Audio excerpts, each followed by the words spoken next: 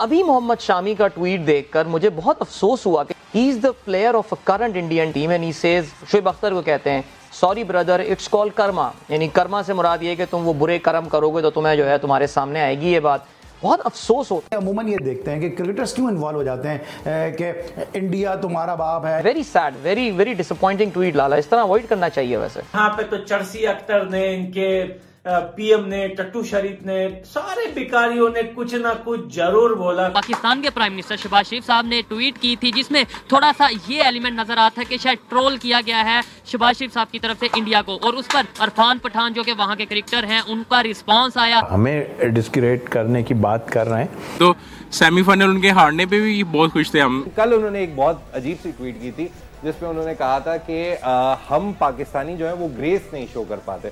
पाकिस्तानियों जीत आज ही जाती रहती है लेकिन ग्रेस आपके बस की बात नहीं है। देखें कन्फ्लिक्ट चल रहा है पाकिस्तान भारत का।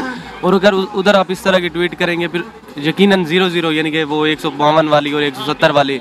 यार इनकी खास तौर पे पठान की और इनकी ज़ाहिर लगता है कि प्राइम मिनिस्टर को ट्वीट करना चाहिए था। नहीं बिल्कुल नहीं करना चाहिए था रैली में मोहम्मद शामी का ट्वीट देखकर मुझे बहुत अफसोस हुआ कि चलो ये कोई रिटायर्ड ट्रोल नहीं बन गया है, हरभजन किस्म का या वो सहवाग किस्म का।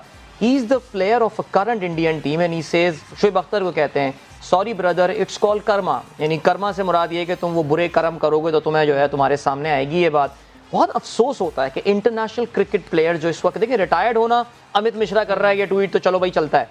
लेकिन एक करंट प्लेयर अगर इस तरह के ट्वीट करता है shows the mindset it shows the mindset I mean they should realise Pakistan भाई आके अगर दो अल्फाज बोल दो पाकिस्तान ने कम से कम very sad very very disappointing tweet Lala इस तरह अवॉइड करना चाहिए वैसे।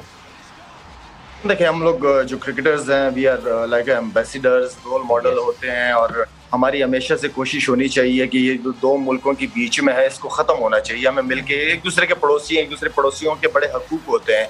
मेरे ख्याल में ऐसे ऐसी चीज़ नहीं होनी चाहिए जिससे नफरतें फैले लोगों के बीच में। अगर हम कर रहे हैं तो जो आम आदमी है पढ़ा लिखा नहीं है जाहिल है उससे हम फिर हम किस चीज़ की उम्मीद करते हैं।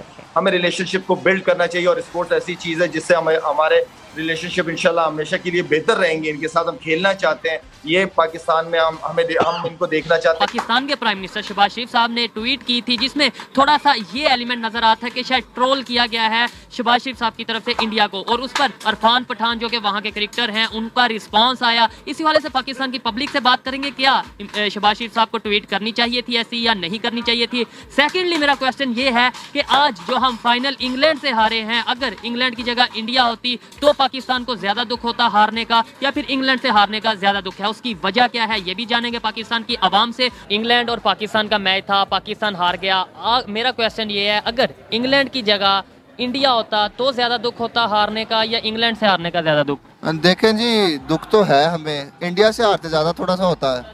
इंग्लैंड से थोड़ा कम है। उसकी क्या वजह है? इंग्लैंड तो फिर बहुत दूर है। इंडिया हमारा हमसाया कंट्री भी है नेबर भी है एशियन कंट्री भी है और हमारी लैंग्वेज भी सेम है, बहुत सी चीज़ें सेम है। फिर क्यों ज़्यादा दुख हो? सर एक नेशनल कॉन्फ्लिक्ट है ना हमारे दरमियान, बहुत देर से है। तो उसकी वजह से एक थोड़ी सी आपको पता है कि वो एक राइवलरी चलती है हमारे दरमियान, उसकी वजह से हाँ